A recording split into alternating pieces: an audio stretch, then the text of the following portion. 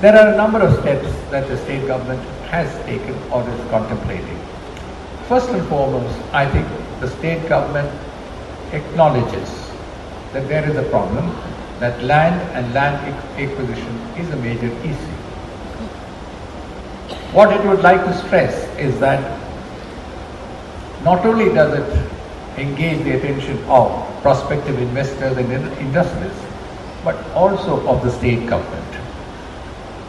A manifest attempt is being made to locate available land suitable for industries. Land banks are being formalized and just now Mr. Suvendu Adhikari showed me a list of the land bank in this region alone. I believe about 60,000 acres have been identified and would, would shortly be available for you. A land bank of government properties in urban and rural areas is being created. A transparent land allotment policy is being put in place.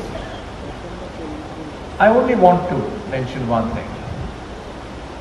Both the government and industrialists will need to be judicious in their quest for suitable land, since it is often difficult to acquire agricultural land.